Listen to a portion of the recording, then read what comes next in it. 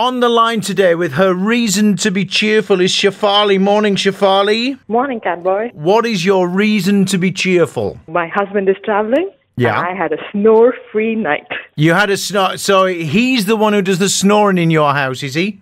Oh, yes. Give the listeners an idea of what his snoring sounds like. How does he sound? It's like.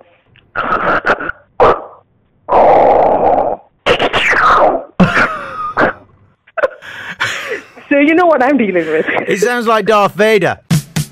Reasons to be cheerful. One,